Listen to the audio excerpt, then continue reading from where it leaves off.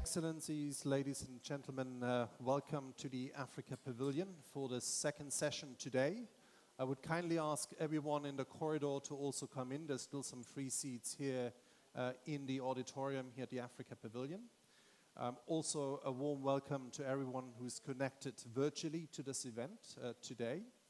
Uh, topical. Je souhaite également la bienvenue. Nous arrivons donc à la deuxième partie de cette réunion. Nous sommes à la deuxième partie donc de cette réunion du COP 26 avec la transition énergétique aujourd'hui. Je vais vous donner un peu de contexte. Comme vous le savez, euh, l'Afrique a contribué euh, très peu à l'émission et nous sommes particulièrement affectés par euh, le changement climatique. En Afrique, nous avons énorme, un potentiel énorme d'énergie renouvelable, la plupart euh, n'étant pas utilisées pour l'instant. Donc pour l'instant, nous avons des millions d'Africains qui n'ont pas encore d'accès à l'université, à l'électricité, pardon. Et donc, euh, euh, on a estimé que la transition en Afrique risque de coûter 100 milliards de dollars par année jusqu'à l'année 2040. Donc c'est énorme. Et donc, pour cela, nous avons besoin de la mobilisation du secteur privé également. Nous avons aussi besoin euh, de capitaux euh, concessionnaires également euh, pour financer donc différents projets afin donc d'aider à cette transition énergétique. nous comptons également beaucoup sur le fonds, la Commission de l'Union africaine, la Banque africaine de développement également et le CFA également dont nous allons parler aujourd'hui. Donc, euh, je suis très heureuse d'avoir euh, avec nous aujourd'hui des euh, personnes très éminentes qui vont donc parler de ce sujet et nous allons donc voir ce que le CFA est en train de faire. Et donc, nous allons ensuite avoir une discussion avec différents partenaires. Ceci étant dit, je vais donc euh, euh, souhaiter la bienvenue au ministre danois pour le développement international, son Excellence pour. J'espère avoir bien prononcé votre nom, Monsieur le ministre. Il va faire quelques remarques d'introduction, donc euh, je donne donc directement la parole au monsieur, à son Excellence le ministre du développement pour la Norvège. Merci. danois, pardon, pour le Danemark. Je vous remercie, vos excellents, euh, chers collègues, chers partenaires. C'est vraiment un plaisir pour moi d'être ici avec vous.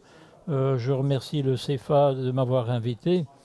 Et c'est une de mes premières interventions lors du COP et vraiment tout a l'air super euh, bien organisé, très intéressant. Donc nous sommes à un point crucial, nous le savons.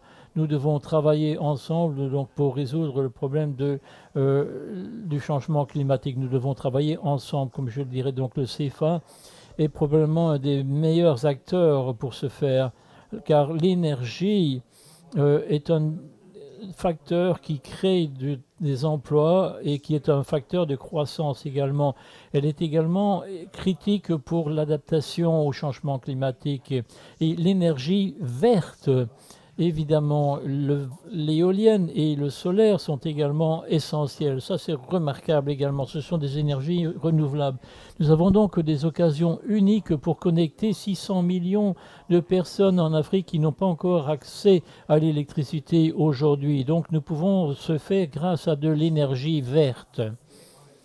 Et nous sommes en train donc d'électrifier euh, l'ensemble du continent et donc nous devons le faire avec des sources euh, vertes et uniquement des sources vertes donc euh, d'énergie renouvelable. Danemark et la Banque africaine de développement travaillent déjà ensemble depuis 2012 sur ce projet. En peu de temps, l'énergie verte est devenue une énergie peu coûteuse, concurrentielle, qui donne de l'espoir à beaucoup donc, de pays et beaucoup de personnes et rentre dans, le cadre des accords, des accords de pays. L'énergie, euh, et, le CFA euh, donne ainsi l'occasion euh, à beaucoup de personnes en Afrique d'avoir donc des contributions vertes. Et donc, je suis heureux de vous présenter aujourd'hui une contribution de la part de mon gouvernement de 100 millions de francs CFA. Le Danemark a plus de 40 ans d'expérience dans la transition énergétique. Et notre, transition euh, montre en fait que l'énergie verte est à la fois créatrice d'emplois et de croissance. C'est la raison pour laquelle nous avons dit que nous voulons arrêter les explorations pour le gaz et le pétrole dans la mer du Nord. Et nous avons également euh, adopté une loi sur le climat avec des objectifs euh, juridiquement obligatoire de réduire de 70% nos émissions d'ici 2030. Nous savons que la transition énergétique est quelque chose qui ne va pas se faire de manière euh, facile. Nous devons euh, revoir l'ensemble de la manière dont nous travaillons, les emplois de millions de jeunes personnes en Afrique. Et donc mon gouvernement a décidé d'augmenter donc euh, nos financements sur base donc de fonds jusqu'à hauteur de 500 millions de dollars chaque année d'ici 2023. Et donc, à partir de 2023, donc, nous avons aussi un nouvel instrument pour faciliter les investissements verts dans des pays en développement. Et nous souhaitons également donner une assistance en matière de développement. Et nous espérons avoir le même succès que d'autres pays également à ce titre. Notre ambition au Danemark, c'est de faire ce que nous disons, ne pas uniquement euh, parler, mais nous voulons agir. Et donc, nous voulons agir et être aux côtés de tous les pays qui veulent faire cette transition verte. Car pour nous, c'est une occasion unique et nous voulons que personne soit laissé pour compte. Et nous ne voulons laisser personne à la traîne. Et je vous remercie de m'avoir écouté. Je vous remercie pour votre attention. Je remercie donc Monsieur le ministre de ces euh, remarques qui montrent véritablement le leadership du euh, Danemark dans la lutte contre le changement euh, climatique et vraiment du côté de la Banque africaine de développement, nous remercions le Danemark pour toute l'aide qu'il nous donne déjà et donc depuis des années déjà et également nous remercions donc la contribution de 100 millions de couronnes danoise que vous venez de faire. Donc c'était 100 millions euh, de couronnes danoises qui viennent d'être ainsi engagées de la part du euh, ministre de euh, Danemark. Je vous remercie. Je sais que vous devez maintenant partir car vous avez d'autres engagements. Je vais donner maintenant la parole au responsable pour le ministère de l'économie et du développement de l'Allemagne, Vincent, qui euh, elle n'est plus à la COP, mais elle a enregistré un message et je vais donc euh, vous demander de bien vouloir euh, passer le message de Maria Flaxberg, de la part du ministère fédéral de la coopération économique et Dr. du développement. Excellences, ladies and Euh, gentlemen. Mesdames, The Messieurs, euh, le 54 continent africain, c'est 1.3 54 billion people, et- pays et contributes 1,3 just milliards de 4% personnes euh, qui CO2 contribuent très peu donc à la But émission mondiale, donc de affected by 4%. global Et pourtant, c'est le plus touché par le réchauffement climatique. Et donc, ceci dit que nous montre qu'il y a deux choses que nous devons faire pour le futur. D'abord, c'est le climat, changement climatique et le développement durable. Le développement, en fait, dépend de l'énergie. Donc, nous avons besoin d'avoir un 2030 accès universel à l'énergie d'ici SDG 2030, comme c'est le And cas donc de l'ODD reach 7. global Et nous voulons aussi avoir une neutralité euh, sur le changement climatique et décarboniser nos économies, nos économies selon les accords de Paris. Et pour atteindre ces objectifs, nous avons besoin maintenant de travailler ensemble de façon déterminée. Dans ce cadre, l'Afrique a deux occasions et deux Energy défis demand in également. Africa Euh, will see chaque a personne en Afrique, chaque personne qui connaît l'Afrique sait que euh, la population est résolue et que c'est une population en croissance et qui est très mobile également. Et les tensions pour l'accès à l'énergie 1000 également sont importantes. Euh, C'est beaucoup plus This la- is an le besoin opportunity est for the énorme également.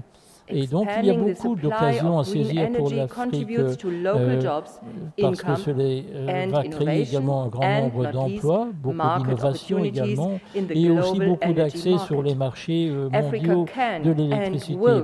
L'Afrique peut et va bénéficier donc de cet appétit mondial en termes d'énergie, et donc il y aura davantage d'investissements, surtout dans les énergies renouvelables, évidemment.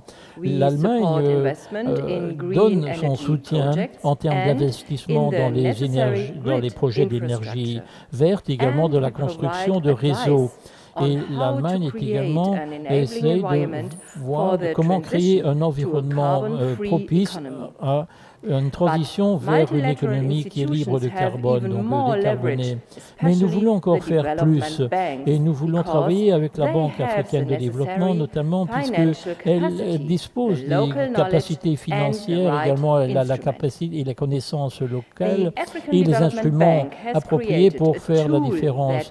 La Banque africaine de développement a ainsi des outils pour euh, bénéficier au maximum du, euh, de ces éléments avec avec la CIFA également, euh, nous pouvons créer davantage d'énergie renouvelable et améliorer l'efficacité énergétique. Nous voulons travailler afin de préparer des projets et ensemble, donc, nous voulons utiliser au mieux ces euh, financements.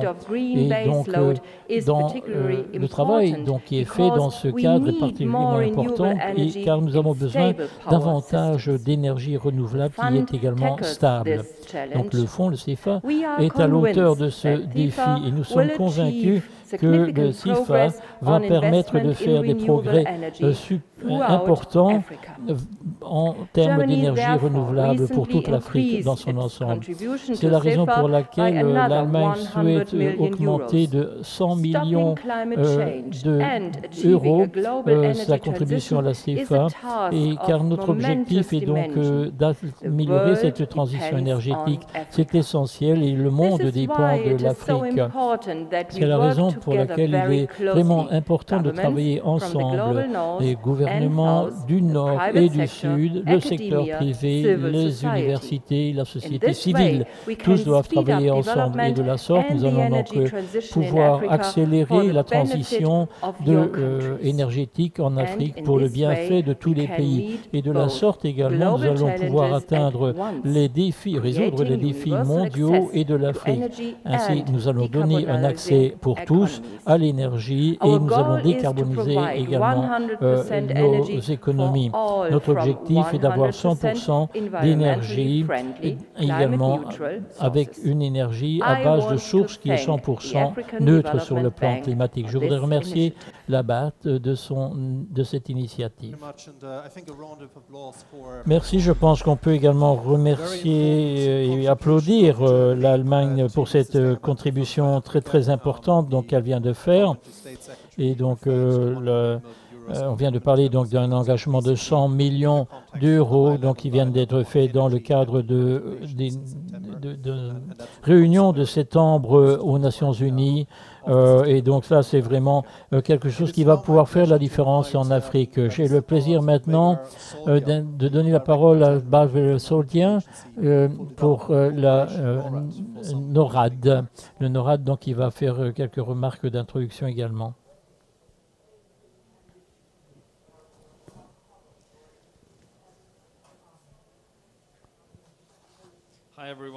Bonjour, euh, bonjour tout le monde. Je suis vraiment très heureux d'être avec vous euh, aujourd'hui.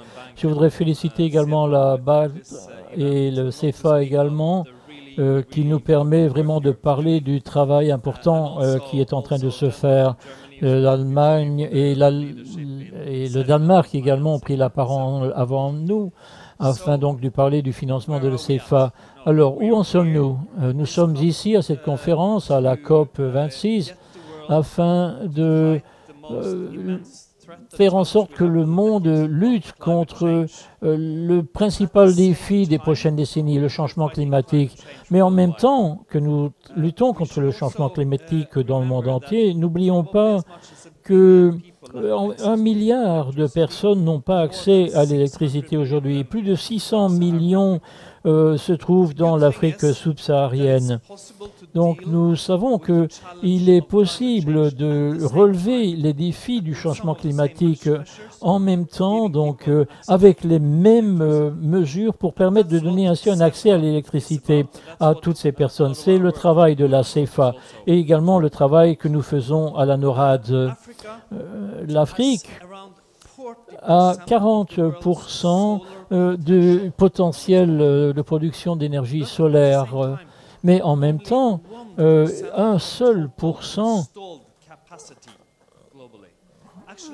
un seul pourcent donc, euh, et donc euh, nous avons une coupure de micro de l'orateur malheureusement. Le Royaume-Uni a beaucoup plus de capacités de production solaire, beaucoup plus que l'Afrique dans son ensemble.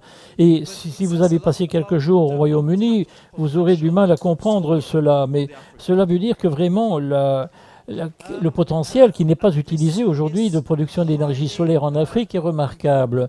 Et donc ça, c'est très important. Euh, et c'est urgent également. Et ceci a diverses manières, parce que les, beaucoup des solutions euh, dépendent de politiques qui sont déjà en place, en tout cas de notre point de vue à la NORAD, et nous voulons aussi d'avoir des politiques de développement qui soient axées sur euh, le climat.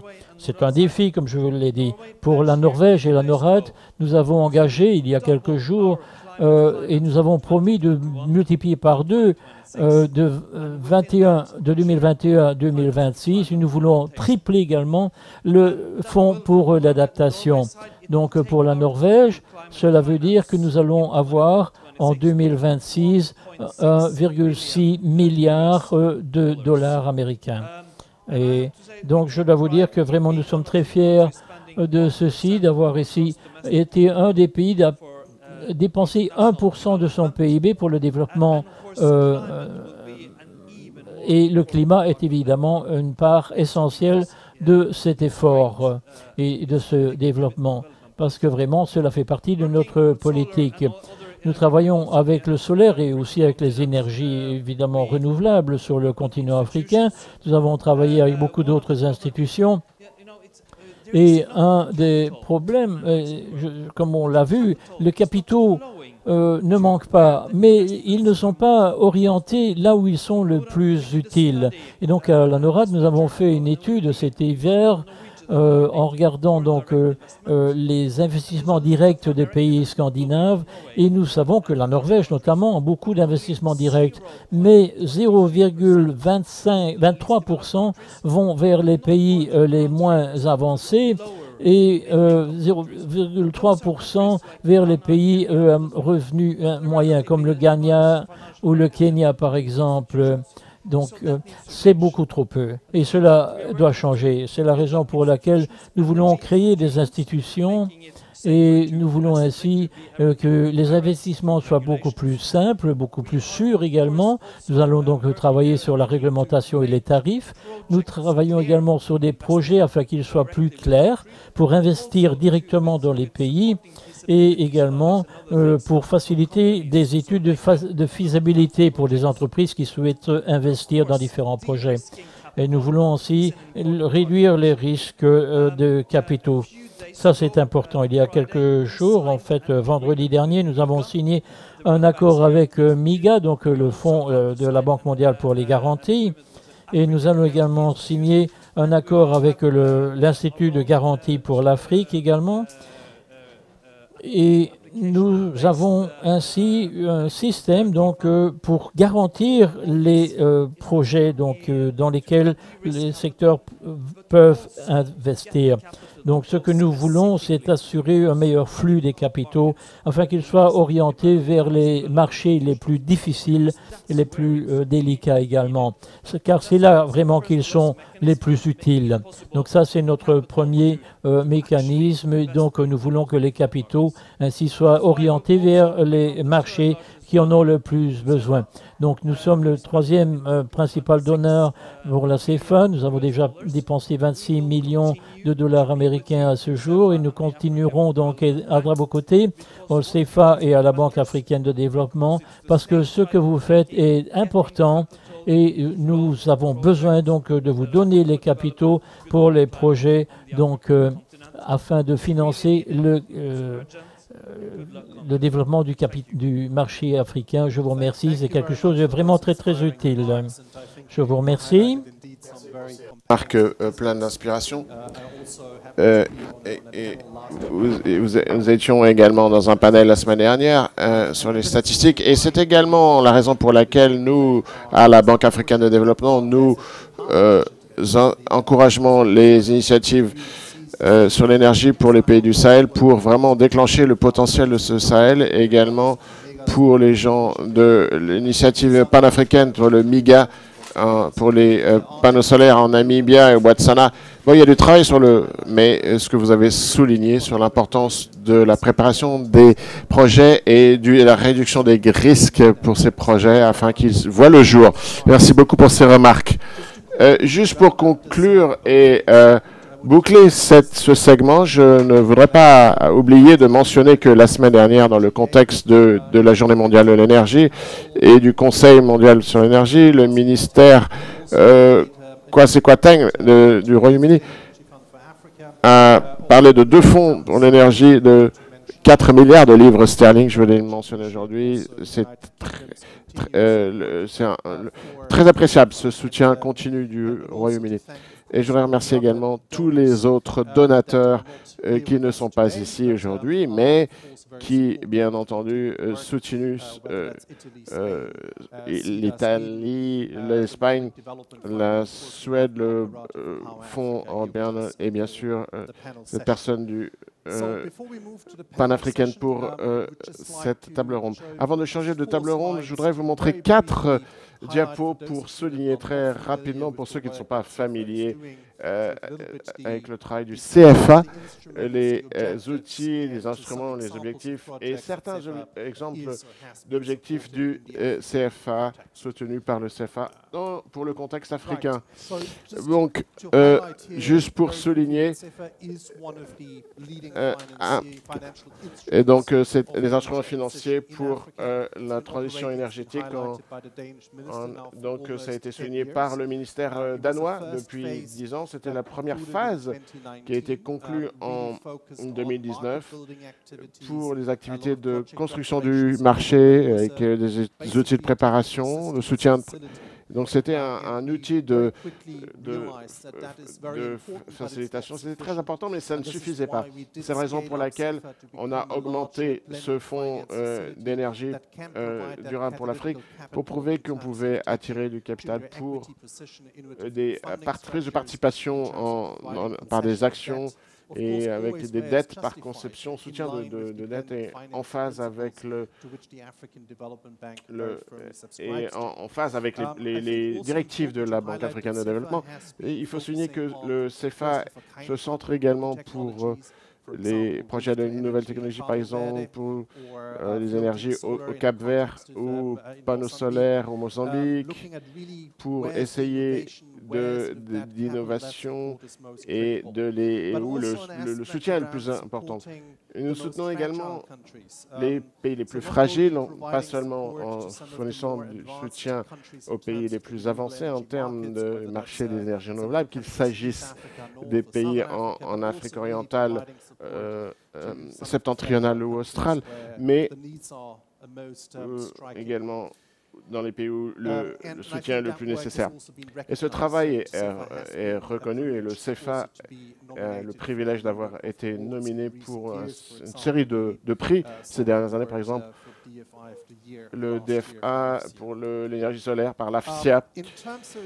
Pour ce qui est, pour vous donner une donnée très rapide de quels sont les trois euh, axes du euh, un axe concerne euh, pour euh, le soutien aux pays africains pour les, projets de production d'énergie, euh, renouvelable, alternative aux énergies fossiles. Donc, comment euh, la- le- il peut y avoir un mix énergétique plus flexible, par exemple introduire le solaire et euh, l'éolien, et soutenir également des technologies renouvelables qui pro- euh, fournissent déjà une alternative plutôt que les projets thermiques euh, ou hydroélectriques qui ont beaucoup de potentiel en Afrique. Et bien sûr, le- la, Norvège a, la Norvège a beaucoup d'expérience là-dessus. Le deuxième axe qui est très important pour plusieurs réseaux, parce que c'est une dimension clé pour atteindre l'accès universel et pour l'ODD numéro 7, le CEFA est l'un des euh, principaux fondateurs pour euh, le développement du marché vert en travaillant dans- dans le- sur le segment depuis 2014 en soutenant plusieurs pays sur leurs politiques de, ré- de réglementation qui doivent être mises en place, mais également en se penchant sur, la manière d'augmenter l'échelle de cela, en- et par exemple pour les instruments de- d'atténuation des risques. Troisième axe, et c'est toujours un petit peu- c'est toujours un petit peu, euh, c'est une dimension clé euh, de la transition énergétique et de l'efficacité énergétique, et c'est aussi un, un axe que le CFA finance. Euh, pour ce qui est des instruments, j'y ai fait allusion dans mes remarques du début. euh, euh, euh, une des, un des soutiens, un soutien, un support technique d'abord, ou pour soutenir le pr- secteur privé, ou euh, un, un- un soutien technique au gouvernement en termes de renforcer le, le cadre réglementaire, par exemple, et aider les gouvernements pour la conception d'un programme, par exemple, de producteurs indépendants d'énergie pour certains pays africains. On- et le nouvel axe qui est les investissements de concession euh, pour essayer d'être catalysateurs euh, pour, que, pour les ressources qui ont été qui ont fait confiance euh, en fournissant les fonds à la, Banque africaine de développement. Par exemple, le fonds pour les, les- les programmes de mini-groupes que j'ai mentionné euh, auparavant, avec un capital risque, euh, une phase de capital risque euh, très importante au début. Ce ne sont que quelques exemples ici qui ont été, été approuvés ces deux dernières années à grande échelle, financés par le CEFA par exemple, la modernisation hydro euh, en collaboration avec l'Association du- et internationale d'hydroélectricité, grand potentiel pour la réhabilitation de l'infrastructure existante hydroélectrique en Afrique. Le programme d'accélération mm, qui essaye de- d'accélérer le, le développement de mini-centrales euh, hydroélectriques et avec des instruments de réduction des risques. Et le CFA est très actif dans le contact- contexte de Conseil de transition énergétique. Nous avons pu approuver plus cette année des euh, mécanismes de finance avec des, euh, pays d'Afrique noire qui sont engagés dans ce, transition énergétique. Et bien sûr, des investissements catalyseurs, par exemple, des projets hydroélectriques où le CFA a euh, fusionné ses ressources avec pour soutenir le premier pro- producteur et indépendant d'électricité au Gabon et hydroélectrique. Donc le capital du CFA a été fondamental pour euh, faire baisser les tarifs d'énergie et, et a rendu ce projet finançable. Juste pour souligner quelques les fonds catalysateurs où le CFA joue ce rôle catalyseur. Donc le fonds Plus pour Afrique qui est dédié au, au secteur. Et les derniers points sur le diapo, notre conseil vient d'approuver la semaine dernière euh, 5 milliards Force Bar Plus, donc ça va, perm- va permettre de, de signer les choses dans les prochaines semaines.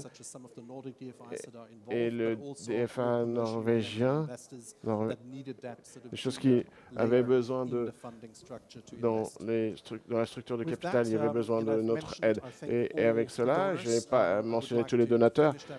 J'aimerais conclure ma présentation brève et inviter euh, les euh, orateurs à monter à la tribune. D'abord, j'aimerais convier Elisabeth euh, Bress, euh, euh, qui est une, notre f- euh, amie de l'IRENA. Ensuite, euh, euh, j'aimerais inviter Marc Carato, qui est le coordinateur de Power Africa et, et qui est un partenaire très étroit de la Banque africaine de développement. Le troisième personne que j'aimerais inviter est, et je le vois, c'est Joseph euh, Nganga de la Fondation Rockefeller. Et, et en dernier, mais ce n'est pas le moindre, j'aimerais le vice-président, Dr. euh, Kevin Karau, qui, euh, en plus des quatre orateurs ici, nous aurons deux orateurs qui vont être euh, connectés en ligne. On a dit que c'était prêt, techniquement parlant. Mansour Amayoun, le directeur exécutif. Bonjour Mansour, de euh, P-Box, un, un des euh, fournisseurs de euh, panneaux solaires en Afrique, euh, leader. Je crois qu'il y a un petit problème de connexion avec le Nigeria, donc nous n'avons pas en ce moment euh, Monsieur Farouk Youssouf Yabo, directeur euh, euh, du, euh, au, au ministère de l'énergie du, Nigeria. Alors, chers euh, orateurs et oratrices, nous pouvons passer au vif du sujet dès maintenant et nous allons commencer par Elisabeth euh, Press, puisque l'IRENA, comme vous savez tous, est bien entendu, euh, dirige beaucoup de travail sur, sur la connaissance euh, des énergies renouvelables et beaucoup de travail sur la transition énergétique mondialement, mais bien entendu en Afrique. Peut-être pourriez-vous partager certains éléments des tendances que vous observez, quelles sont les conséquences pour l'Afrique, enfin quelques éléments. Je crois qu'il faudrait que vous preniez un des micros. Euh, merci beaucoup, Daniel. Euh, J'allais le faire. Merci de m'avoir invité. C'était un vrai plaisir d'être ici. Et euh, j'aime beaucoup les chiffres et je vais en partager quelques-uns avec vous, bien entendu, mais euh, j'entendais les interventions.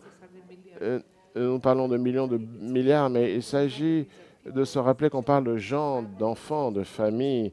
Et il ne s'agit pas seulement de chiffres. Euh, on oublie cela trop vite et on perd la, perspective de qui. euh, donc, euh, euh, en plus des chiffres, en 2020, euh, euh, en plus des gigawatts, donc pour ceux, et je m'y inclus là-dedans, je ne suis pas très lié au. le 1 gigawatt pourrait alimenter une, une cité de taille moyenne en Europe. Euh, donc ça, c'est pas mal quand même. Donc, si on réfléchit en termes africains, seulement 2% de ces projets sont en Afrique. Hon- Honnêtement, c'est difficile à comprendre parce qu'il y a tellement de potentiel, il y a abondance de euh, euh, potentiel hydrique, solaire, éolien. Et nous, nous travaillons depuis longtemps, depuis une décennie, sur, pour essayer de comprendre, mieux comprendre comment faire la différence et essayer de déclencher, de mettre en œuvre ce potentiel. Euh, donc le CEFA est un mécanisme merveilleux parce qu'il s'a- il s'attaque à, une des raisons pour les- lesquelles l'investissement n'arrive pas aux pays africains, euh, perçu comme un, continent à haut risque. Mais il y a d'autres éléments, je crois, qu'il ne faut pas laisser de côté. Euh, le premier d'entre eux, euh, le niveau de la capacité technique locale.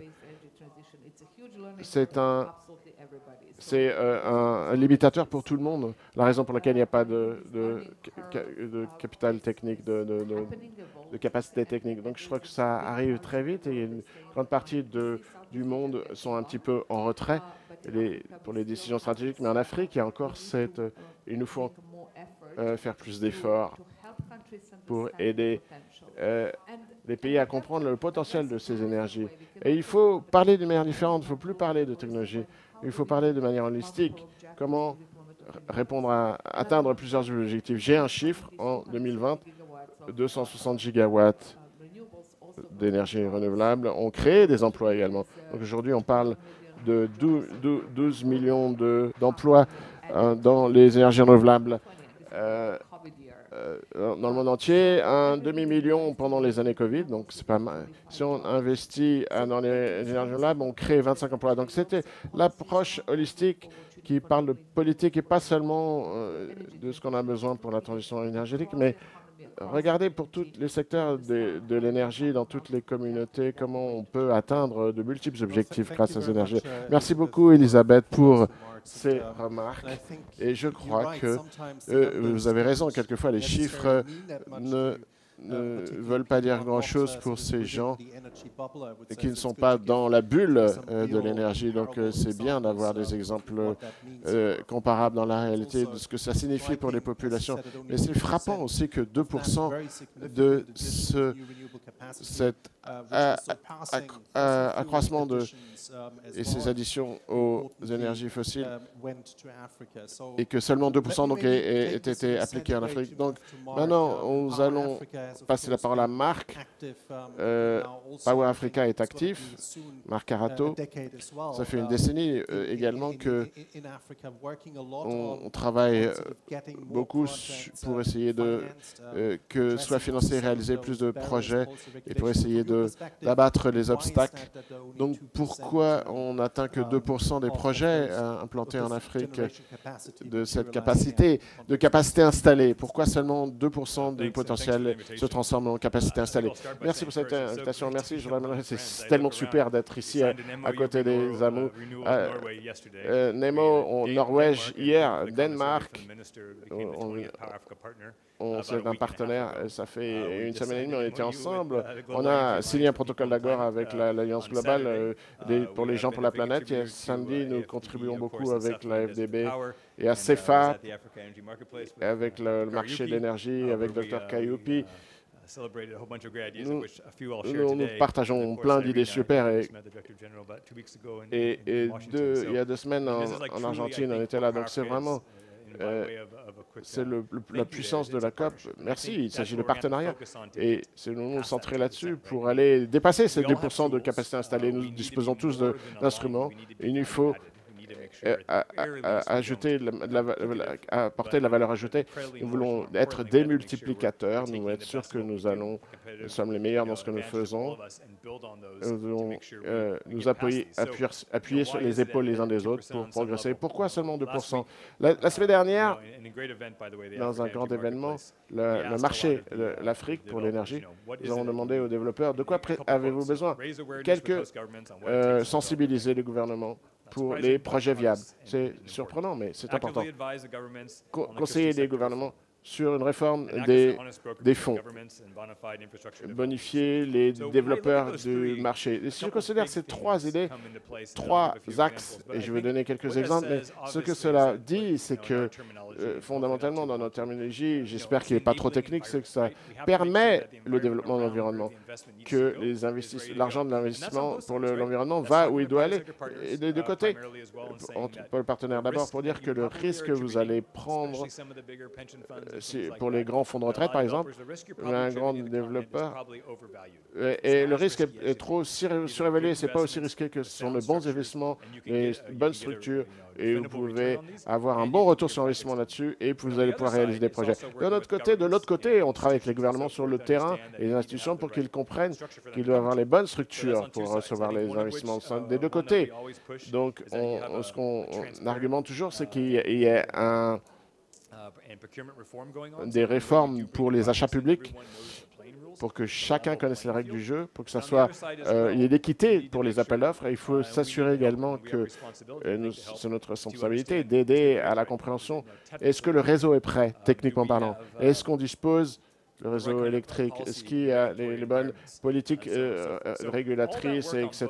Donc, donc, des deux côtés, il faut euh, pour faire changer euh, les choses, pour changer la donne. J'ai des tonnes d'exemples de partenariats et l'initiative euh, dirigée par le gouvernement américain. J'ai fait déjà ça, des plans pour le solaire, des, des prix qu'on a reçus.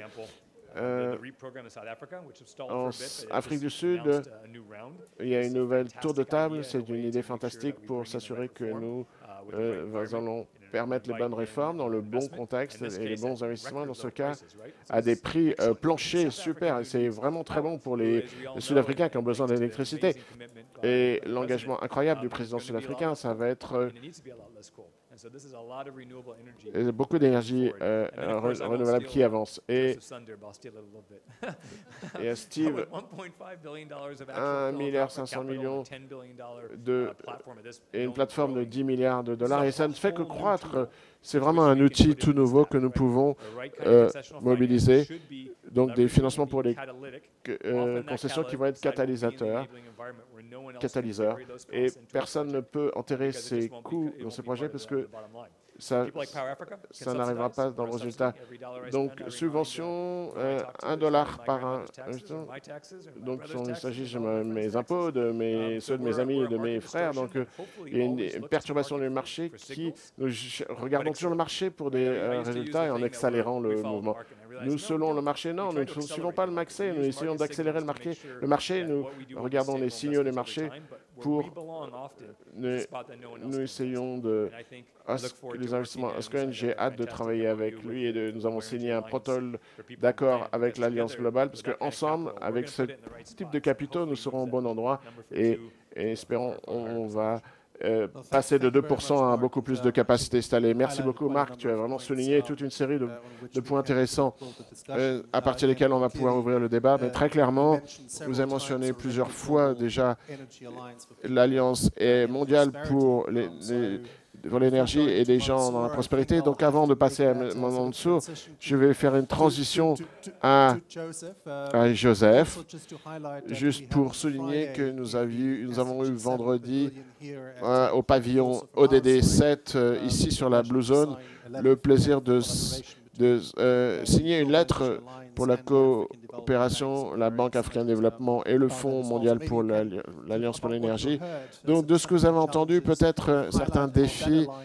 Et pouvez-vous dire comment cette alliance va débloquer plus d'investissements et nous aider à améliorer la capacité de production, mais également pour l'accès à l'électricité, parce que c'est bien sûr l'autre chiffre clé et euh, je demanderai aussi à M. Mansour de revenir là-dessus. Merci Daniel et merci euh, euh, la Banque africaine de développement et les autres orateurs oratrices pour ce débat très intéressant.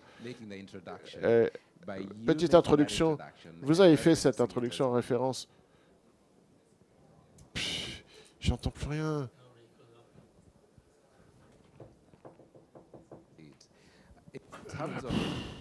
Tava cortado on n'entend plus le, le, le, le, micro. On n'entend plus le micro, on n'entend plus. I think we need to change the microphone. Sorry, uh, that one ran out of power, but. All right. Well, this one has a lot of power. bon, celui-là est très puissant, hein, ce micro-là. Donc, en, pour ce qui est de notre mentalité, uh, euh, prenons un petit peu de recul et euh, l'Afrique euh, occidentale et comment ça a été électrifié. Il y a eu euh, des subventions par les contribuables, les engagements des contribuables. Le défi qu'on a en Afrique, c'est que les gouvernements, leurs recettes et leur capacité de subventionner d'autres parties du pays pour obtenir l'électricité sont très limitées. La capacité d'emprunt est limitée, les impôts sont limités, donc il y a un droit à l'électrification y a une réglementation, mais ça ne peut être financé par les fonds publics. Donc le secteur privé doit entrer à une attente de retour sur investissement avec un profil de risque qu'ils doivent euh, respecter. Et il y a des facteurs qui euh, peuvent euh, complètement empêcher la réalisation de l'opération. Euh, donc comment combiner le besoin de biens publics réglementés et l'investissement du secteur privé. Il y a toute une série de choses qui doivent s'aligner, y compris la réglementation, mais très fondamentalement, le composant financement pour attendre que les, les acteurs du secteur privé dans un espace possiblement à haut risque jusqu'à preuve du contraire, pour attendre qu'ils aient un, un ROI assez bas. Ça ne va pas arriver. Donc, euh, il est très, extrêmement important que nous définissions qui était un, un, un, ROI raisonnable pour le secteur privé, un profil de risque euh, raisonné et essayer de combler le, le, le fossé qui existe entre les deux. Nous ne devons pas avoir recours aux, subventions quand elles ne sont pas nécessaires. Et une fois ceci posé, si nous injectons le, juste la quantité de capital philanthropique dans euh, la structure, je pense que ça va débloquer l'entrée du secteur privé. Et c'est comme ça qu'on va remplir ce, ce fossé dans un écosystème qui protège le secteur privé, mais fournit également euh, l'électricité aux consommateurs. Si le secteur privé voit qu'il y aura un bon retour, mais si les services sont de mauvaise qualité, euh, le bien-être des consommateurs ne sera pas respecté. Donc, des politiques de réglementation qui protègent tous ces côtés de l'équation est important. Il y a d'autres éléments également. Le marché du carbone est une manière très intéressante de pour le, pour le secteur public ou le secteur privé qui ne peut pas euh, très euh, rapidement avoir des euh, émissions de carbone très basses, ça permet de, d'arriver à cette transition. Et il y a aussi la place pour la technologie et l'innovation. Le défi là, c'est que sur le continent africain, c'est que c'est qu'il n'y a pas de marché euh, très clair euh, où on pourrait commencer pour attirer le capital risque, par exemple. Il n'y a pas de vallée du silicium en Afrique, donc il faut euh, il faudrait pouvoir montrer aux, capital risqueurs que s'ils investissent, il y a des opportunités de marché et ça justifierait le, déploiement de, du capital. Tout ça pour dire que c'est très complexe. Euh, c'est un défi avec euh, des éléments qui évoluent tout le temps. Il y a besoin de plusieurs sources d'expertise et de ressources et ça va être critique pour progresser, pour garantir que le bon capital va être utilisé pour le bon projet. Merci beaucoup. Merci beaucoup, Joseph, pour ces remarques. Et je crois que ça souligne l'importance de trouver le bon équilibre entre le risque d'un côté et le retour sur investissement de l'autre pour qu'il y ait vraiment le bon, la bonne nuance pour le capital de concession pour que ces projets se réalisent et euh, que ce soit sa mise en phase. Tout ça, ça va être un, l'objet de, débat pour l'Afrique et au-delà. Oui, comme je l'ai dit euh, auparavant, nous avons pu saigner cette lettre d'accord et, je voudrais mentionner également ici que on pense que certaines ressources qui vont être mobilisées par l'Alliance vont être concentrées en, avec la, la, la, Banque africaine pour le développement et avec l'Alliance mondiale, avec la Fondation pour les projets hein, énergie et agriculture, grande échelle, essayer de reprogrammer les choses dans la République démocratique du Congo, des choses qui sont déjà, il y a déjà des efforts existants pour commencer. Ceci étant dit, je voudrais également remercier donc euh, tout le monde euh, et je voudrais euh, redonner la parole à Mansour maintenant, Mansour Anouyen, donc du BOX euh, qui est en train de travailler pour euh, relier euh, davantage de personnes et vous allez nous donner la, la perspective de Biox, qui est un des principaux acteurs en termes de construction de réseaux. Quelles sont donc vos, vos opinions, quelle est votre perspective sur ce que l'on peut faire pour essayer de réduire donc ces 600 millions de personnes qui n'ont pas encore accès à l'électricité. Donc on parle déjà de, chiffres énormes. C'est un peu moins que le chiffre d'il y a quelques années, mais ça reste quand même un chiffre très élevé néanmoins. Et donc nous voulons vraiment aider euh, toutes ces personnes afin de leur donner un accès à l'électricité. absolutely. Thank oui, merci et merci de me donner la um, parole. Um, no, thank you so much for having me and sorry je suis très heureux d'avoir été invité. Um, Malheureusement, je n'ai pas pu être présent avec vous euh, à Glasgow.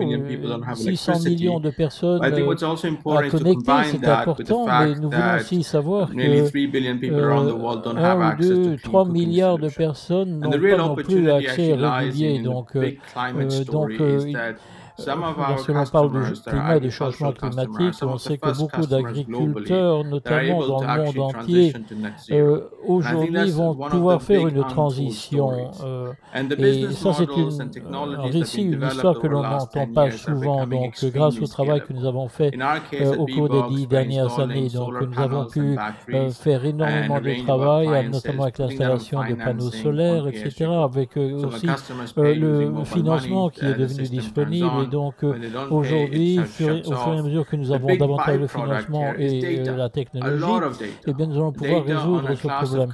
Euh, le, problème, c'est le manque d'informations. Nous avons beaucoup d'informations sur les, clients, les, les consommateurs, mais nous n'avons pas assez sur le financement. Donc, pour pouvoir établir un pont entre les besoins réels et les risques, notamment les risques perçus et les risques réels. Donc, et je crois que les données pourront réduire cet écart euh, entre la perception et la réalité. La source d'énergie euh, est aussi est importante que nous voulons, et je le dis toujours à tous les actionnaires donc, de notre entreprise, euh, ce que nous voulons faire, c'est offrir une, une énergie qui soit distribuée de manière différente, donc, afin donc d'aider tous les clients qui en ont besoin donc euh, sur la base notamment de mini-réseaux euh, pour atteindre les zones les plus reculées. Donc, euh, euh, ce qui est important, donc, c'est de pouvoir offrir des solutions à l'ensemble des personnes partout là où ils se trouvent. Donc, nous avons des types différents de distribution avec des volumes et des tailles aussi différentes de réseaux. Et donc, le financement nous permet ici donc de nous étendre, de prendre de l'expansion de manière différente et donc d'établir des connectivités selon les besoins. Donc, pour être le plus rentable, le plus productif possible. Donc, donc, cela fait partie de notre stratégie d'investissement. Sur le plan de l'investissement, nous avons investi 200 millions de dollars en Afrique. Mais ceci étant dit, notre croissance est limitée par l'accès aux capitaux. Donc, nous avons besoin de trouver des sources différentes de financement afin de pouvoir continuer à travailler et de répondre ainsi aux besoins qui sont vraiment euh, réels dans ces secteurs. Donc, nous avons besoin d'un meilleur accès au financement pour faire, pour apporter ces solutions euh, à moyen terme et également pour créer ces mini-réseaux. Donc, euh, les sources, comme je vous l'ai dit, sont importantes. Nous travaillons maintenant au Nigeria, au Burkina Faso, à partir de cette année. Et dans cette ère euh, Covid, euh, Covid-19, évidemment, les risques euh, sont, ont augmenté et la lenteur de notre travail a augmenté également, donc c'est normal. mais ce qui me préoccupe le plus lorsqu'on parle de l'environnement, c'est surtout les pays les plus fragiles où l'accès à l'électricité est vraiment difficile parce qu'il y a peu d'innovateurs sur le terrain et les sources de financement sont rares également. Donc il faut vraiment mettre l'accent sur ces pays les plus vulnérables. Et donc, euh, lorsque, là où on a vu où ça marche bien, des pays comme le Kenya ou le Rwanda, maintenant, on peut se poser la question pourquoi est-ce que tout le monde n'a pas encore euh, pu émuler ces pays? Pourquoi est-ce que nous n'avons pas encore dans ces pays les solutions que nous avons proposées, notamment sous la forme de ces mini-réseaux Et donc, euh, nous voyons qu'il y a certains clients, notamment certains consommateurs qui sont encore dans des zones difficiles. Et donc il y a une partie de ces consommateurs où il n'y a pas euh, d'accès euh, facile. C'est un problème. Et c'est là que l'accès à l'énergie prend vraiment toute son importance. Il faut que ce soit un accès pour tous. Et donc euh, ceci puisse, euh, ainsi réduire la pauvreté dans tous les pays, dans toutes les régions. Donc euh, nous voulons travailler avec tous les clients, avec tous les consommateurs. Nous voulons leur apporter la, les solutions technologiques, améliorer les rapports que nous avons avec chacun des clients afin donc de ramener, euh, l'électricité pour faire fonctionner des pompes à eau ou avoir de l'électricité pour la télévision, par exemple. Et donc pour améliorer la vie de, toutes ces personnes, pour que, donner à tous ainsi un accès euh, à tous les services et à tous les produits dont ils ont besoin. Vraiment, je suis très heureux de voir que cette discussion a cours et aussi de voir le niveau de la discussion, la maturité de ces discussions, parce que c'est important si nous voulons continuer à travailler donc euh, de manière efficace jusqu'à l'an 2030, donc au cours des 7 ou 10 prochaines années. Donc, le, je m'arrêterai ici en parlant donc de cet accès aux capitaux. Effectivement, je vous remercie. euh, vous avez parlé d'un grand nombre de points importants. Euh, L'accès à l'électricité est évidemment important pour la vie de tous les jours, évidemment, pas uniquement pour travailler, mais aussi euh, pour les loisirs. Et c'est ce que Box a, compris. Et donc, nous voulons ainsi donner un accès à tous à des services qui leur sont refusés pour l'instant. Donc, euh, ça, c'est essentiel. Vous avez aussi parlé de l'accès à la finance, au financement, qui est un des principaux défis. Effectivement, ceci me fait ma, ma transition pour, euh, pour l'orateur suivant, euh, qui est Kevin. Et donc, euh, Kevin qui va nous parler de la perspective de la Banque africaine de développement, qui va nous parler de l'énergie et de la transition énergétique en Afrique euh, du point de vue donc, de, la Banque mondiale, de la Banque africaine de développement. Oui, merci euh, Daniel. Kevin Kariuki, vice-président pour la Banque africaine de développement. Je remercie également Elisabeth, mes collègues, Manso, euh, Marc. Je crois que la, la BAD joue un rôle important pour euh, aider à la transition énergétique. Euh, un, de nos rôles est de soutenir le développement du marché en naval également pour faciliter aussi les investissements du secteur privé, qu'ils soient, quelle que soit leur taille, petit ou grand. Euh, je vais vous donner un exemple concret. Sur le marché, euh, l'exemple que je peux vous donner, euh, ce sont deux, projets. Euh, un projet de construction de 580 mégawatts avec co- construction donc de panneaux solaires au Maroc, qui est à mon avis le centre de production d'énergie solaire le plus grand au monde.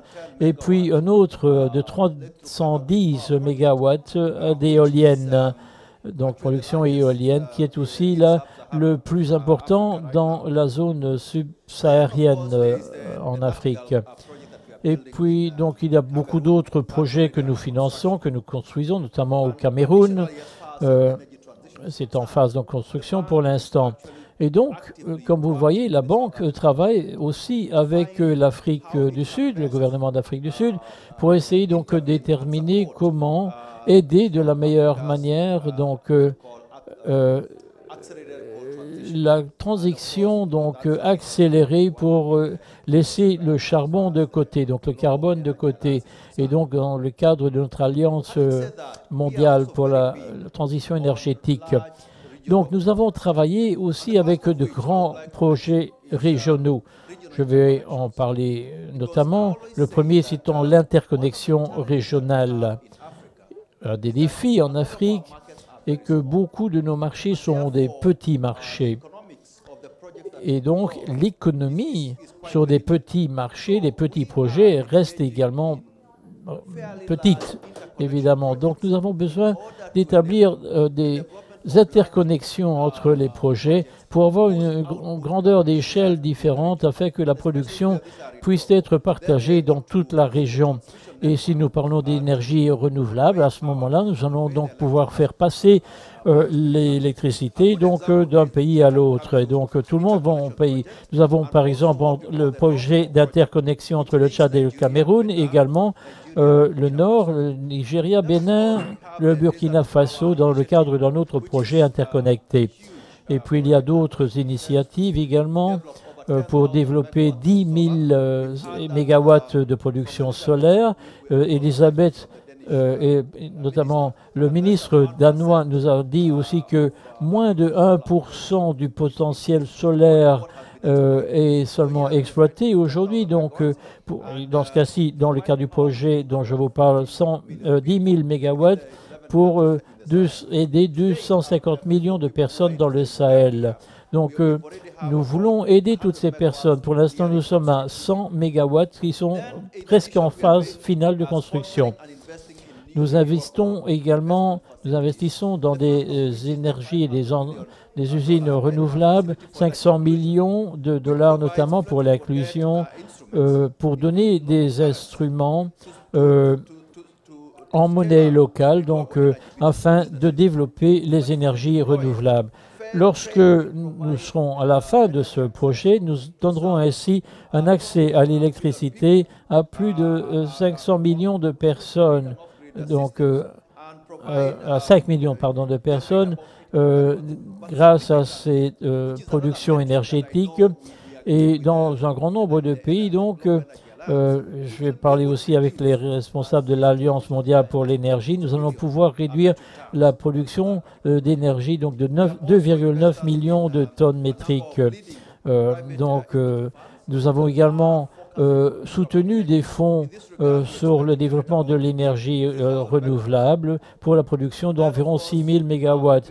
Et puis, nous avons aussi un programme de décentralisé euh, de solutions euh, énergétiques, notamment avec à la tête le Nigeria, qui va ainsi offrir de l'électricité à un demi-million de personnes qui auront donc accès à ce réseau. Et puis Daniel a également parlé de euh, travail donc, qui se fait en République du Congo, euh, démocratique du Congo, pour euh, connecter plus d'un million, un demi-million de personnes.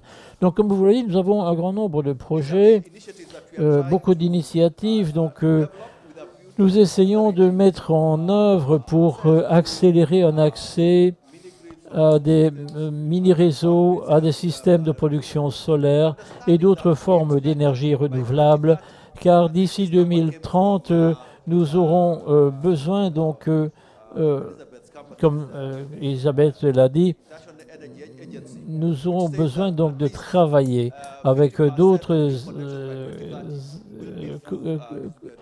institutions donc pour avoir au moins 30% en 2030 d'énergie, euh, pardon, 40% d'énergie donc sera d'énergie renouvelable en 2030. Donc nous voulons également soutenir le fonds donc euh, d'a- d'accès à l'énergie avec un financement euh, pour et également des facilités donc pour octroyer des prêts donc par le biais de banques centrales. Et, euh, autre chose que nous voulons faire et qui est également très importante, c'est améliorer le, dialogue au sein du secteur euh, euh, sur le marché de ce que j'appelle donc le marché énergétique pour l'Afrique, dont Marc a parlé également. Et si afin donc d'avoir une discussion sur la décarbonisation et une réforme ainsi pour améliorer euh, le travail au sein du secteur de production énergétique. Donc, comme Daniel et d'autres euh, membres du panel ont dit, nous, ainsi que le ministre danois, nous attendons à ce que, grâce à ces capitaux euh, et grâce aussi aux expertises et aux instruments dont nous disposons, nous espérons que le CFA restera donc une pièce clé pour euh, lutter contre euh, le changement climatique et pour réduire ainsi le carbone en Afrique grâce à l'établissement donc euh, d'un marché pour les énergies renouvelables, ce qui attirera également un grand nombre de euh, financements. Euh, je vous remercie. Je vous remercie. Vous avez donc parlé de l'inclusion, le fonds pour l'inclusion énergétique. Euh, c'est ce que l'on a dit. C'est un projet donc très très important. Et Faye nous a parlé notamment donc euh, d'un financement en monnaie locale. Ça, c'est important également. On en avait parlé dans le cadre du Rwanda et je crois que c'est un outil qui est un, facteur de croissance également. Vous avez dit également que euh, le CFA a euh, une plateforme aussi pour le redressement après l'épidémie donc euh, du Covid. euh, euh, 19, donc ceci afin d'aider les économies et les pays qui ont été les plus euh, touchés par euh, le Covid-19, euh, Covid-19, donc euh, avec un fonds de euh, 20 millions de francs CFA donc euh, pour euh, à, à cette fin. Il y a plusieurs personnes dans la salle qui ont, euh, souhaitent faire des interventions. Sissi Sabati notamment, du ministre euh, directeur au ministre euh, au- de la Côte d'Ivoire. Et je pense que nous avons encore deux ou trois minutes. Et donc, euh, je vais vous inviter à poser des questions si vous le souhaitez. Merci. Oui. Yep. Thank you very much. Can you can you uh, follow me? I'll, I'll speak in, I'll speak in French. Um, J'attends que chacun um, I'll be waiting for people to get their headsets. So can you can you understand me? Je peux commencer Can I start? Can I start? Traduire l'essentiel, quoi. Merci. En tout cas, je remercie les panélistes. Um, I would like to thank the people in the panel for the uh, quality of their interventions. Uh, I would I would like to say that they have been very accurate in their in what they said. Thank you, thank you very much for being accurate in, and especially. elle a parlé des enfants et elle a parlé des populations. Donc je rebondis un peu sur ce que vous avez dit pour indiquer que les gros problèmes, les populations africaines ont des revenus assez bas. Donc il faut pouvoir faire la corrélation entre les revenus des populations et le coût d'accès à cette énergie. Et c'est là que se situent les grandes difficultés. Donc il convient de travailler pratiquement sur l'ensemble de la chaîne de valeur pour essayer de voir comment optimiser les coûts de manière à ce que l'accès soit beaucoup plus facile. Donc, le secteur privé, ceux qui fabriquent le matériel, doivent faire un effort, mais aussi les États doivent faire un effort au niveau fiscal, au niveau douanier et au niveau même de- des infrastructures d'accueil. Sans oublier que dans le matériel qui est souvent proposé, il y a du matériel de mauvaise qualité. En Afrique, il n'y a pas de système d'évaluation de la qualité du matériel. Donc, il y a encore un travail d'évaluation de conformité du matériel qu'il faut faire pour pouvoir le faire. Mais l'élément le plus important, c'est qu'il faut qu'on se parle.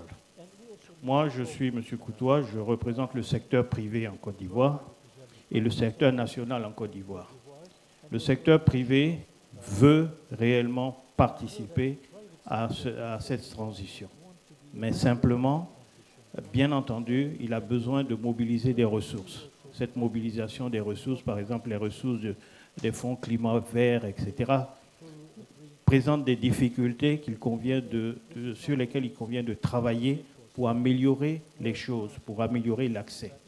Même euh, le contact avec les fondations, les contacts avec un certain nombre de fonds sont souvent difficiles pour améliorer les choses. Donc il convient qu'on ait un dialogue.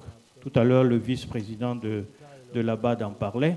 Il faut qu'on ait un dialogue, mais un dialogue direct. Un dialogue direct pour qu'on exprime vraiment nos préoccupations en termes euh, des préoccupations qui tournent, qui touchent les garanties, qui touchent l'accès, qui touchent la formation, qui touchent le renforcement des capacités. Et par ce dialogue B2B, il faut qu'on puisse créer, je reprends encore le mot du vice-président, il faut qu'on puisse créer un marché. Et comment on crée un marché? Il faut travailler sur tous les plans, toutes les parties de ce marché pour que ce marché soit euh, s'entretienne et soit un marché euh, à long terme, qui permette de garantir à long terme une transition. Parce que euh, si nous ne le faisons pas, si nous ne nous organisons pas comme ça, ce sera difficile d'arriver. Merci. Merci beaucoup pour euh, cette intervention et je crois qu'il y a une autre intervention du ministère euh, de la Côte d'Ivoire. Bonjour mesdames, bonjour messieurs. Je suis euh, Cissé Sabati. Je suis le directeur général de l'énergie au ministère des Mines, du pétrole et de l'énergie de Côte d'Ivoire. Et J'aimerais d'abord vraiment euh, remercier euh, les organisateurs pour euh, ce panel qui est très important pour nous. Euh, il est très important pour nous en ce sens que euh, aujourd'hui nous travaillons beaucoup. Notre politique énergétique, le second axe stratégique de développement, c'est améliorer l'accès à l'électricité. Et je peux vous affirmer qu'aujourd'hui, chez nous, au niveau de toutes les villes, il y a l'électricité connectée au réseau. Aujourd'hui, la grande préoccupation, c'est les zones rurales. Alors, nos zones rurales, euh, les populations habitent dans deux types de zones. Il y a les villages administrativement parlant, et puis il y a tout un paquet de campements. Hein, donc, dans certains cas, c'est des campements transitoires, dans d'autres, c'est des campements donc, euh, fixes. Hein, Aujourd'hui, nous avons, je dirais que dans notre politique d'accès, nous avons trouvé la solution déjà pour les villages. Hein, en 2023-2024, nous allons finir d'électrifier tous nos villages, administrativement parlant. Il y en a 8518 au total. On a les financements donc, pour euh, les électrifier. Et à ce stade, je voulais m'arrêter pour remercier sincèrement la BAD, hein, au nom donc du ministère, parce que la BAD nous accompagne fortement sur ce programme-là. Alors, il va rester la question donc des campements. Dans les campements, on a un peu plus de, je dirais, entre 10 et 15% hein, de la population qui vit dans ces campements, qui sont donc euh, très loin du réseau interconnecté et pour lesquels nous avons pris l'option d'aller avec les solutions hors réseau. Alors, la difficulté, hein, c'est pour ça que je dis ce panel est très important, c'est que le hors réseau, eh, si on veut que les populations aient, du H24 hein, en fourniture d'électricité, ou bien même du 21 sur 24, eh, les, centrales, les petites centrales solaires sont obligées d'être accompagnées de batteries de stockage et dans certains cas de, eh, de générateurs eh, à combustible. Et quand on fait la combinaison de l'ensemble de ces prix, on sort avec du hors réseau à un coût du kilowattheure qui est largement au-dessus de ce que nous nous pratiquons dans ces zones rurales. Parce que je vous informe que dans les zones rurales, nous pratiquons un tarif dit tarif social, qui à l'origine déjà est nettement inférieur au tarif général. Et donc si on part dans le rural, dans ces zones qu'on installe encore des, mini-réseaux qui sortent à des coûts eh, supérieurs au coût moyen de production de l'ensemble du pays, vous voyez, ça pose eh, un problème. Il y a deux gaps à rattraper. Il y a le premier gap entre le tarif social et le tarif général, et il y a le second gap entre le coût moyen de production normal et le coût de production avec le hors réseau. Alors, donc j'ai pris la parole pour insister sur le fait qu'il faut véritablement une politique de subvention qui accompagne hein, le développement des hors réseaux. Hein, C'était sur ça que je voulais insister. Je vous remercie. Merci beaucoup, Monsieur Cissé, pour, euh, pour ces remarques très pertinentes euh, concernant la situation en Côte d'Ivoire. Et aussi, euh, on, on reconnaît en fait le progrès énorme qui était fait par le gouvernement ivoirien sur l'accès à l'électricité. Mais évidemment, il y a, comme vous avez dit, il y a 10 à 15% de la population où effectivement les solutions en réseau seront nécessaires. Et il y a les, les défis, on va les discuter rapidement. Juste une dernière question et après on revient au, au panel. Oui, merci beaucoup. Je m'appelle Soraya Aziz et je suis de l'Agence nationale d'électrification rurale de la République démocratique du Congo. C'est une agence nouvellement euh, installée. Ça fait deux ans, un an et demi à peu près qu'on est là. Et euh, nous sommes en pleine exploration du, de- comment dire, de la structure du, du marché pour voir comment on peut amener un maximum d'investisseurs. Maybe I'll just switch back to English because then everybody can understand. Uh, the problem we see in the DRC is that um, investors and donors are not interested that much in investing in renewable energy despite the huge potential that we have because of two things. The first thing is uh, when we talk about energy in the DRC, they all think about INGA and they think it will be lengthy and we've, we've seen that, we've talked about that, and it's still not happening. And they don't want to hear the second part of the story, which is the renewable part. And the second thing is, uh, of course, they believe that uh, the income of people in the DRC will not enable them to invest and get their investment back. And if it's donors, they feel like they will be investing for a very, very, very long period of time before those people can pay back. But what we see with people like B-Box is that people are already today paying a lot of money for access to energy, probably more than in developed countries, just because the infrastructure in place is not, it's, it's not good enough. So this is like an encouragement to all of you to help, not just the investors, but also the, the, to help the government structure better whatever we are doing. In the DRC, we are putting in place a, a subsidy fund, an RBF, and uh, we have a, a national electrification plan that we are putting in place. So there are so many things institutional wise that we are putting in place. And I'll also take this opportunity to invite everybody who is interested in renewable energy. On Wednesday, we will be talking about energy on the DRC stand throughout the day. Nous aurons à cet égard une discussion mercredi de cette semaine, avec euh, le ministre euh, de euh, uh, République démocratique du Congo qui prendra la parole euh, mercredi, et donc vous y êtes tous invités. around uh, the DRC, which um, obviously is one of the high impact countries in terms of making a dent on energy access in Africa. I would like uh, also cognizant of time to get back to the panel. Um, uh, I think we've heard a couple of points um, raised by the different speakers around, I think it was a key point around affordability um, sort of the quality standards, I think, was an issue that was raised. Um, uh, the cost, particularly for those rural uh, customers, um, and how does that compare to national tariffs? tariff? Et, et, um, um if you have one place one tariff, uh, entendu, in another place you have a higher tariff, that can create si problems and tensions. So that, that is another point. And uh, clearly, the, last question around from the Democratic Republic of Congo. um, also on the opportunities in, RDC. Um, so I think um, maybe Donc, we can do, je crois que nous pourrions with, uh, commencer Kevin Kevin et après chacun aurait um, euh, très rapidement euh, l'opportunité de répondre cet aspect. Merci, je crois que je vais fournir une une vue d'ensemble. Et la manière, ma manière de voir, c'est dans ma vie antérieure, j'ai développé une des, les projets d'énergie euh, pour la ruralité en Afrique. Et dans, nous avons réalisé une étude pour ce projet qui m'a montré que... Oui, ça marche. Qui, a montré que... Ça devrait marcher maintenant.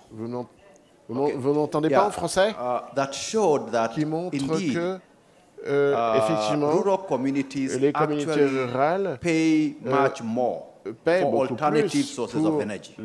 Because what they would use are dry cells, wet cells. In this particular project which I did in Uganda, they were paying upwards of 50 cents per unit to be able to provide energy. So that disabuses the notion that the rural communities may not have the resources to meet their cost of energy because the alternative cost of energy are significantly higher that any that would be developed by eh, projects such as is doing, or euh, any of the other projects euh, projets de so that's number oh, one. donc ça, number two, euh, The cost of raison. Deuxièmement, le coût des énergies renouvelables été réduit de façon significative, surtout pour l'énergie solaire. Il existe par conséquent des produits qui peuvent être mis à disposition et fournis à un, coût très économique. Mais pour répondre à, la dame de la RDC, là où nous sommes bons à la banque, c'est le dialogue sur les politiques. Nous serions très contents de négocier avec le gouvernement pour leur fournir les ressources, pour garantir que, que nous communicate nous pouvons what needs to be built, what needs to be done to be able to provide access un accès euh, de façon so euh, la plus efficace possible. Euh, nous avons des projets pour des subventions initiales pour essayer de euh, pour soutenir les tarifs.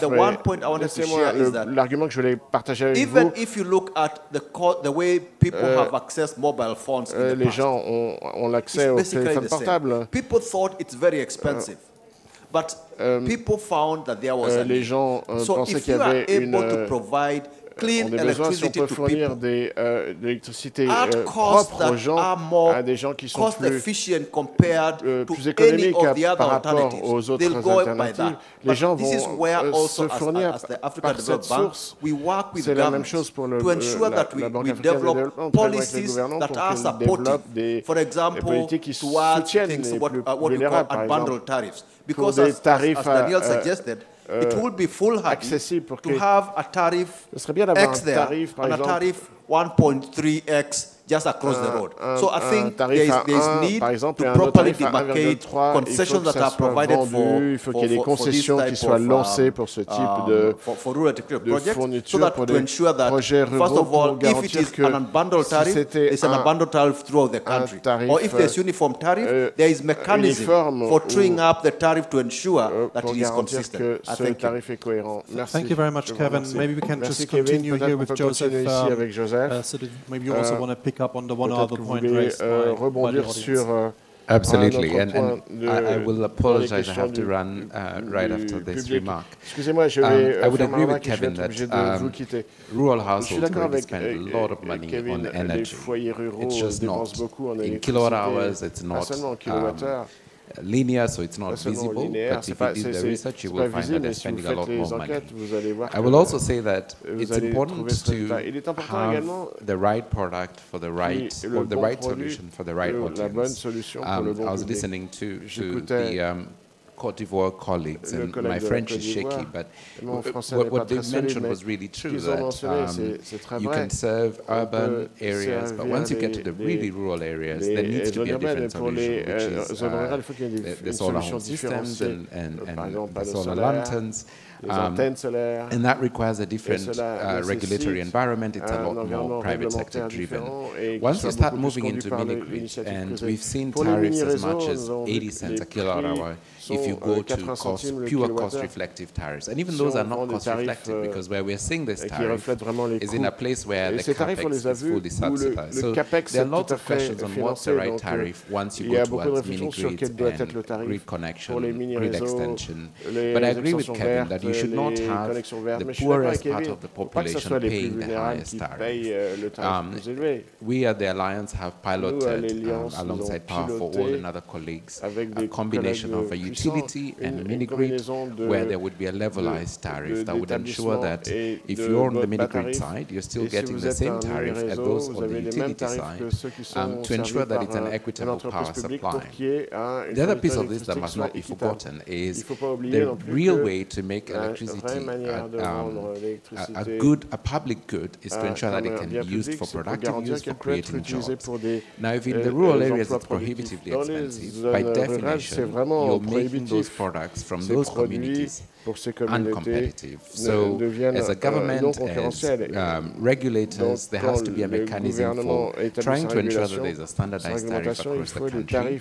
And if you have a lifeline tariff for those on the grid, why wouldn't you try and structure the same for those um, in the mini-grid sector as well, by working with the mini-grid uh, service providers to ensure that um, levelized tariff? Thank you. Well, th thank you very much, uh, Joseph. Um, uh, and, I mean, you highlight really a, a number of important points. I know you have to run. Uh, we're already um, coming to the close of the event, but I want just to give the remaining three panelists also an opportunity to intervene on, on, the questions. Mark, um, if you want to come in and comment complements what uh, Joseph and Kevin Joseph already Kevin highlighted. No, absolutely, and, and, and thanks again, and, and, great questions from the, uh, the audience. I think Kevin made a point that he implied, but I'll, I'll make it really direct as well. You know, universal access on the backs of renewables is possible, right? So not only are we talking about the idea that we'll be able to get more and more access and get, get more people, and the prices of renewable energy uh, are coming down, that will help it. But we're also going to put those on in a climate-friendly fashion, right? I mean, we're going to take a lot of diesel generation off the grid if we can continue to push the renewable energy generation,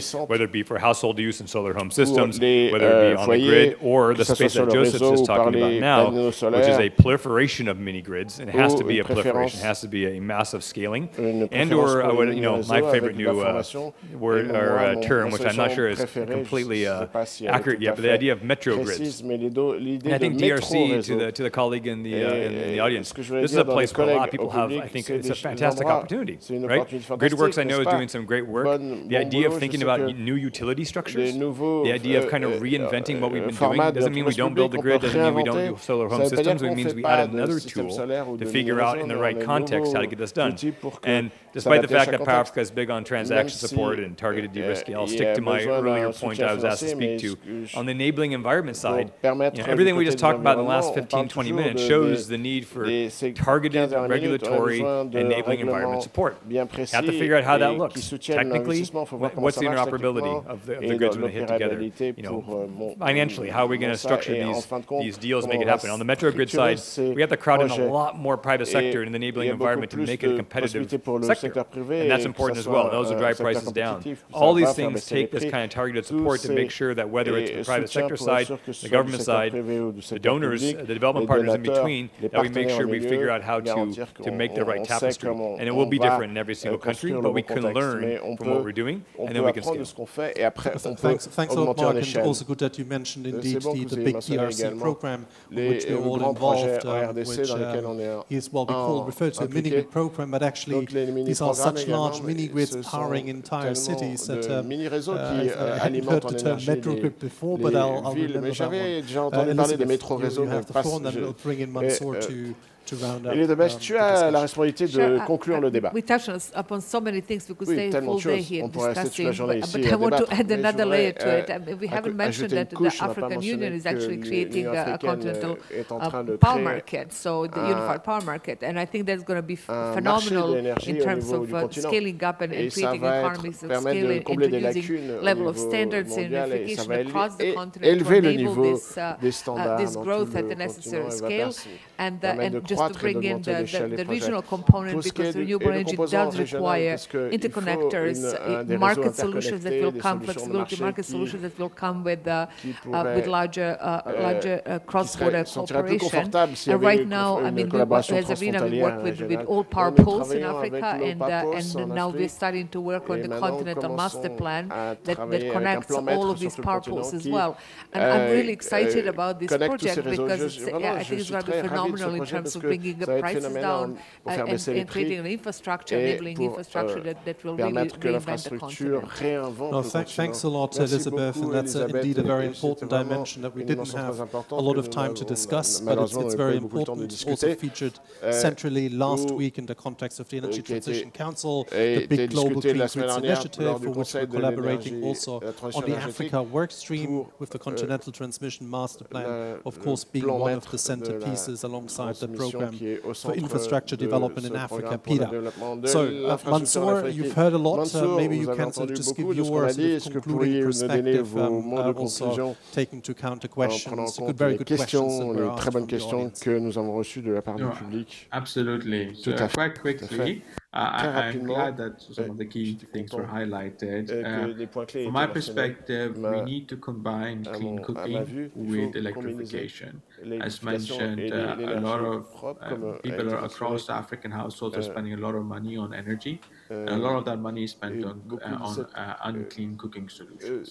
So I think that those policies and those walls need to get merged better. The second thing is need for speed, uh, right? So we, the, the clock is against us. We need to hit 20, 30, the SDGs. We're behind.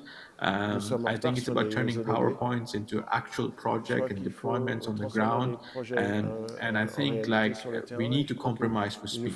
Uh, that's the solutions. Je serais content d'entendre mes collègues du euh, gouvernement de la RDC qui ont mentionné l'importance de l'électrification au milieu rural et la création d'un cadre équitable. Tout le gouvernement va jouer ah un rôle très important pour les subventions, les politiques et les conditions du marché. Et je crois que le plus important, c'est uh, la, prise de conscience des communautés pour qu'ils Um, adoptent ce projet de transition.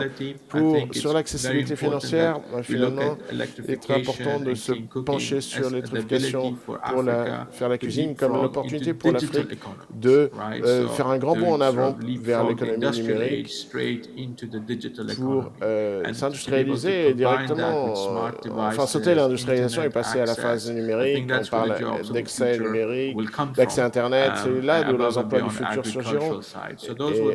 ainsi que du côté agricole. Voilà mes quelques remarques de conclusion. uh, Dernier point, c'est um, bien entendu is today le because of secteur support of est, all of the est partners. prêt aujourd'hui parce qu'il y a un soutien de tous les partenaires. Il y a Um, beaucoup de choses qui ont été faites. Mais je crois que better la chose que nous pourrions améliorer, c'est de- d'échanger nos bonnes pratiques entre pays et entre Um, entreprises privées. C'est quelque chose que nous pourrions faire un petit peu mieux dans notre secteur. Merci beaucoup, Mansour. je crois que vous avez déjà donné beaucoup d'éléments pour vraiment euh, une conclusion think you un- highlighted that we un need to speed fantastique up de ce euh, indeed 2030 table rond. Il faut vraiment accélérer parce que isn't. It is 2030 just a l'air loin, mais c'est uh, euh, seulement 9 ans et nous avons nous sommes engagés vis-à-vis de l'ODD track, 7 particularly et nous ne sommes pas vraiment euh, en avance. Pensons au cooking défi solutions. également pour des Uh, solutions pour faire is cuisine qui soit propre. Uh, Il faut augmenter d'échelle. Il y a beaucoup de choses qui sont euh, en train d'arriver, mais pas à la bonne échelle. Donc il faut profiter des choses qui fonctionnent et des instruments qui sont à disposition. Et le fonds durable pour euh, l'Afrique. CEFA est peut-être l'outil. Et um, en dernier, mais ce n'est pas le, synergize moindre It's il faut travailler mieux sur la synergie. Les partenaires que. Marc a mentionnés. Mansour a parlé we need to d'échange de bonnes pratiques. Il faut travailler mieux que ce que nous faisons actuellement pour best être clair, practices are shared, que, that we can les collaborate enseignements and enhance partagés our, et, et so that it's more than just améliorer an addition of individual pieces, but really pas seulement une creating that additional value for d'efforts everyone. So individuels, with mais that, on I would veut like to thank avoir de everyone. la valeur ajoutée. Je remercie toutes et tous, panel le here, public et and, les uh, oratrices et orateurs à la tribune. J'aimerais vous inviter de les applaudir, Uh, s'il and vous plaît. finally, we can do it again after Et nous all those pourrons virtual reprendre sessions cela where après people toutes ces are sessions clapping virtuelles où les gens applaudissent. On peut vraiment applaudir pour de vrai aujourd'hui, uh. Euh, physiquement parlant. Thanks a lot. Ça fait du bien. Mansour. Merci Uh, beaucoup, Mansour. Merci à toutes et à tous. Right. Thanks, Elizabeth.